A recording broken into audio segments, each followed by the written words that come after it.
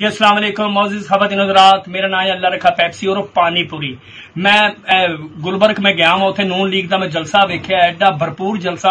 ਇੰਨੀ ਦੁਨੀਆ ਨੇ ਮੈਂ ਸਮੁੰਦਰ ਆਇਆ ਹੈ ਸਮਝ ਲਓ ਕਿ ਸਮੁੰਦਰ ਦਾ ਪਾਣੀ ਵੀ ਥੋੜਾ ਹੁੰਦਾ ਐਨੀ ਪਬਲਿਕ ਸੀ ਤੇ ਉੱਥੇ ਮੈਂ ਤਰਲਾ ਪਾਇਆ ਮੈਂ ਕਿਹਾ ਜੀ ਮੈਨੂੰ ਵੀ ਸਟੇਜ ਤੇ ਬੁਲਾਓ ਮੈਂ ਇਮਰਾਨ ਖਾਨ ਦੀ ਪੈਰੋਡੀ ਕਰਨਾ ਚਾਹਨਾ ਹੈ ਜੀ ਤੇ ਉੱਥੇ ਫਿਰ ਮੈਂ ਇਹੋ ਜਿਹੀ ਮੈਂ